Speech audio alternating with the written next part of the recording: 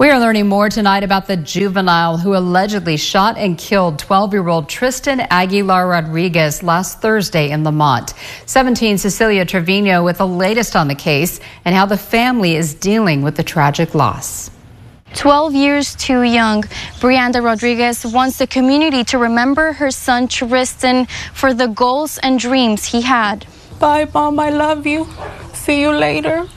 And now I'm never hearing, I will never hear that again. I will never hear him telling me he loves me. Brianda Rodriguez is still processing the loss of her 12 year old Tristan Rudy Alexander Aguilar Rodriguez. Responding deputies found Rodriguez suffering from a gunshot wound around noon on October 10th at a mobile home on Gregory Avenue. He died at the scene. He was special. He was very uh, outgoing, very friendly. He loved to play football. My son had dreams to play football. He told me he wanted to go to the NFL and be a football player. The middle child of five, Tristan was the first son in the family. Rodriguez thinks his killing was intentional. It was definitely not an accident. I just feel that it was not an accident. That's all I could say because the investigation is still ongoing. Rodriguez says her son was not involved in a gang or involved in gun violence and deserved a better fate.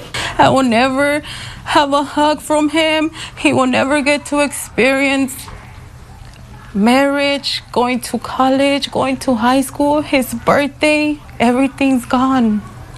Every, they took everything from me. The sheriff's office says a male juvenile was arrested in connection to the crime.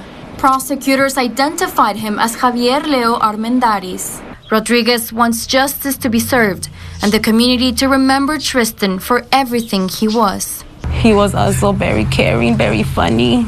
He cared for his brothers and sisters. He will help me around the house. And overall, he was just a kid with dreams.